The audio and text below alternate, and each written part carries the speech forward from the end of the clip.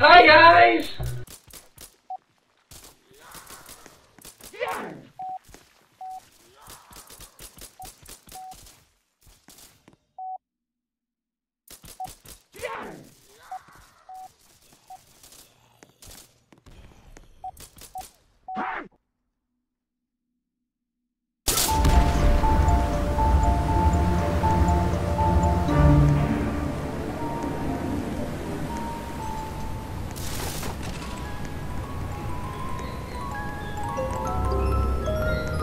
A lot of money for that.